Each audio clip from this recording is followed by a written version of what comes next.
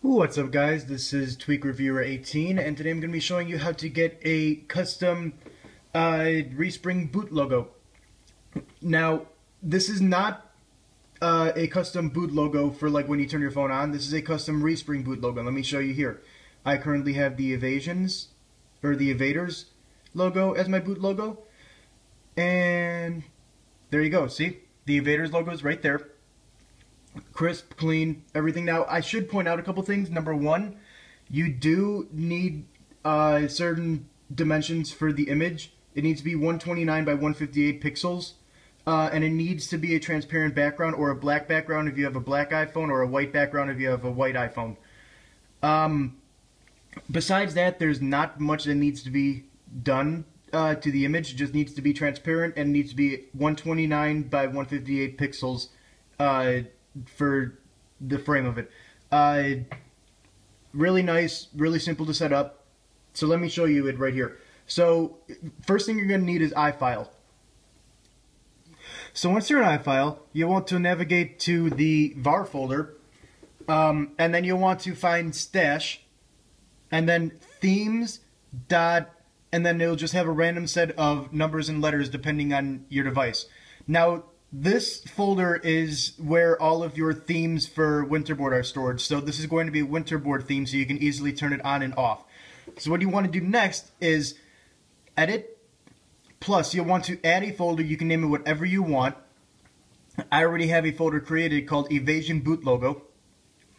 So open that up and then you'll want to create another folder called Bundles inside of it. Needs to have a capital B there. Go in there and then you'll need to create another folder called com.apple.progress.ui. Make sure progress and UI are capitalized. Once that's done, you'll need to add the file, the image that you want in there twice.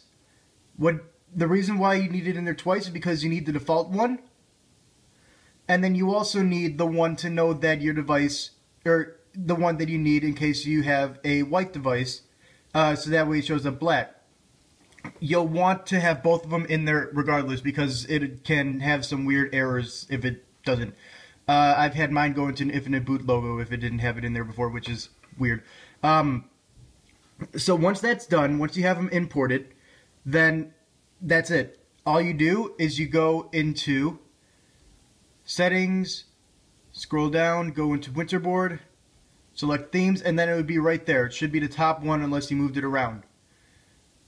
Evasion boot logo, you respring.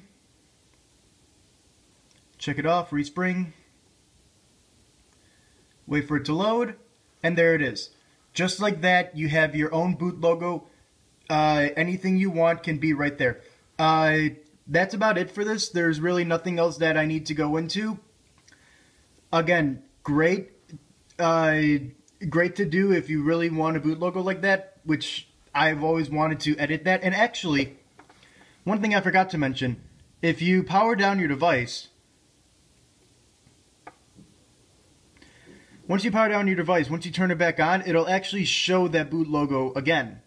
It's not just for uh, your respring screen. It's also for your loading screen. However, it will initially show the Apple logo. Then it will show whatever you have for... Well, here, let me just show you. So see, it shows the Apple logo. And then once this is loaded, then it will show my uh,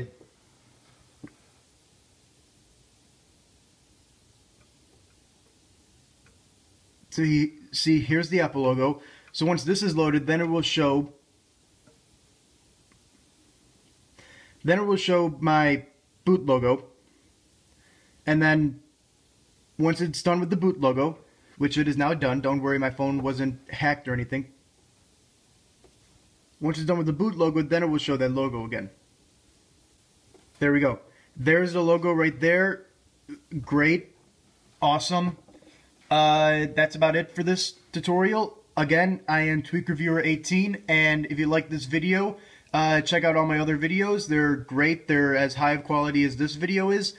And uh, if you enjoy all those videos and you want to see more, make sure to subscribe to my channel. Uh, that's it. See you next time. Bye.